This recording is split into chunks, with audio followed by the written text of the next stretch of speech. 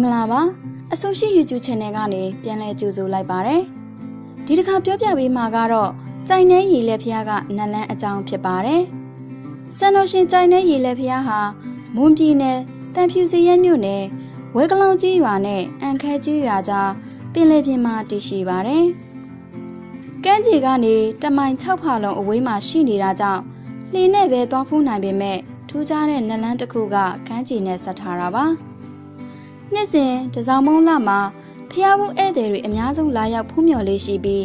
ပင်လယ်ပြင်တွင်းမှာဒီရေကြချိန်ကြောက်တုံးငယ်တွေကလမ်းမကြီးလိုပေါ်လာလေးရှိပါတယ်။ကြိုင်တဲ့ရေလဲဖျားမှာထူးခြားတာတွေရှိနေပါတယ်။ဒါတွေကတော့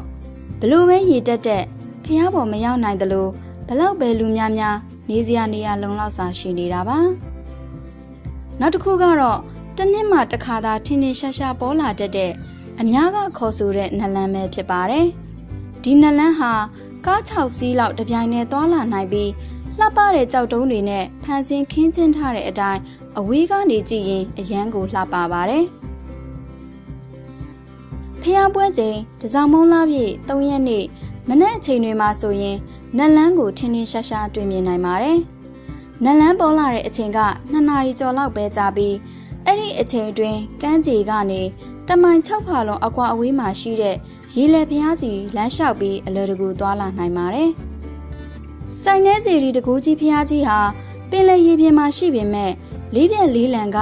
ဒီရေလေချမ်းလိုင်းထန်ကြီးတွေမလာနိုင်ပါဘူး။ဖျားပရဝတ်ပတ်လည်မှာနက်တကာတွေကကြောက်တိုင်လေးခုနဲ့ကာကွယ်ပေးထားတာကြောင့်လို့လဲပါဇက်ရာဇဝင်တွေကဆိုပါတယ်။ဒါအပြင်ဖျားဝတ်မစခင်ညဘက်တွေမှာလဲ နတ်တွေကဖျားစီကိုလမ်းဖောက်တဲ့အတန်တွေကြားကြတယ်လို့ဒေသခံတက်ကြီးဝါကြီးတွေကပြောဆိုကြပါတယ်။ဒီသမိုင်းဝင်စံတော်ရှင်စီရီကြိုင်တဲ့ရေလေဖျားကြီးကိုတဝနဘူမိတထုံမြို့တိရိဓမ္မတောကမင်းကြီးလက်ထက်မှာဂဝံပတိမထေမြတ်ရဲ့ကျေးဇူးရှင်မိခင်ကြီးကိုအကြောင်းပြုလို့မဟာတက္ကရိ112ခုနှစ် BC 980ခုနှစ်မြတ်စွာဘုရားရှစ်ဝါရှိသောကာလမှာ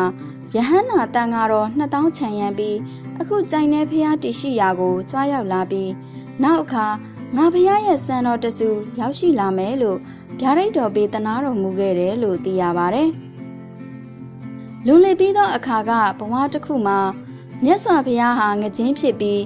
တိမ်ငတ်တကောင်ကပင်လယ်ပြင်တနေရာကနေဖမ်းချီလာက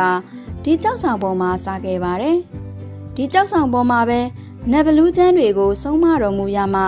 မြစ်တာဓာတ်နဲ့အောင်မြင်တော်မူလို့မူလူမျိုးတို့ကကြိုင်နေဖျားအောင်တော်မူဖျားလို့ခေါ်ဆိုကြတယ်လို့လည်းသိရပါတယ်။ကြိုင်နေရည်လေဖျားကို မော်လမြိုင်တန်ဖြူစီရဲဘက်ကနေလာဖူးမြော်မဲ့သူတွေကတော့တန်ဖြူစီရဲမြို့အစွန်ဘက်ရောက်လာခဲ့ရင်ပငားလို့ဆိုတဲ့လမ်းညွန်ဆိုင်ဘုတ်အတိုင်းလာပြီးပငါရွာကိုရောက်มาဖြစ်ပါတယ်။ပငါရွာစောကွင်းကိုဖြတ်ပြီးရင် ကရုတ်ပိစံပြကျေးရွာကိုထပ်မံရောက်ရှိมาဖြစ်ပြီးကရုတ်ပိကိုဖျက်ကျော်ပြီးတာနဲ့ကြိုင်နေရီလဲဖျားပွဲကျင်းပရာဝဲကလောင်းရွာကိုရောက်ရှိပြီးဖြစ်ပါတယ်။ဝဲကလောင်းရွာအစုံမှာ